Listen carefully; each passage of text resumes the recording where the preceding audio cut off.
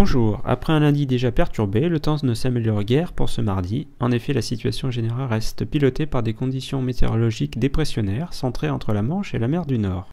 Pour ce matin, un ciel de traîne actif se généralise sur la majeure partie du pays avec de rares éclaircies et de fréquentes averses de pluie. Le temps sera plus lumineux sur la région méditerranéenne, mais avec une tramontane soufflant à 70 km/h. De belles éclaircies également le long des côtes de la Manche. Pour ce qui est des températures minimales, elles seront comprises entre 9 et 13 degrés sur la moitié nord, 13 à 16 degrés au sud, 17 à 20 degrés près de la Méditerranée.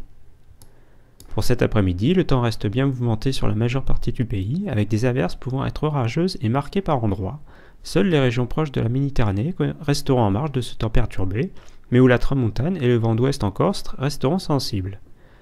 Les températures pour l'après-midi seront stationnaires, avec 12 à 18 degrés sur les régions de la Manche, 14 à 19 degrés sur la moitié nord et 20 à 23 degrés au sud. Pour demain mercredi, le ciel est très nuageux et des averses se déclenchent localement. En revanche, temps estival sur le pourtour méditerranéen.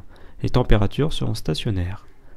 Pour jeudi, le temps est généralement bien ensoleillé, mais une dégradation par l'eau à la Bretagne est attendue en cours d'après-midi, avec un risque d'averse.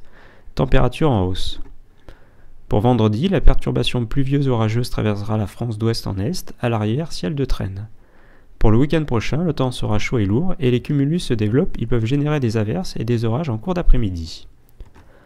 Le temps reste donc agité pour aujourd'hui sur la majeure partie du pays, excepté sur les régions proches de la Méditerranée, et aucune amélioration durable avant la dernière décade du mois de juin. Bonne journée à tous.